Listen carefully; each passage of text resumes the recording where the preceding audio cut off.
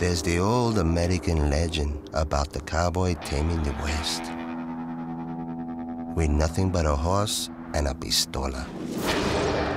Today, you throw that same hombre over my side of the border? the poor bastard. He ain't gonna last five seconds.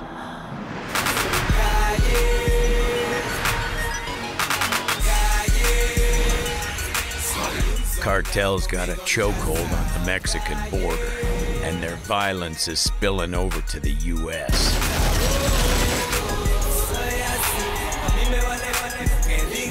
Get the fuck down! They're starting to take out any and all opposition. But the government's got a plan to fix all this. A massive joint operation between the DEA, Sometimes crazy is exactly what's called for. FBI, I like to know what the fuck I'm walking into. and LAPD. Ben here got an attitude problem. He's not the only one. What the hell could possibly go wrong?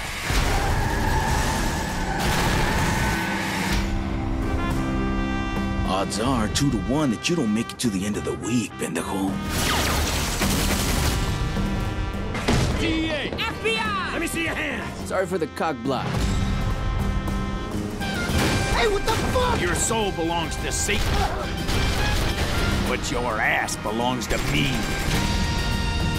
You tell those cholos that we have the cartel's cash and we want to meet with Jesus. Come on, Issy. Let's do this deal.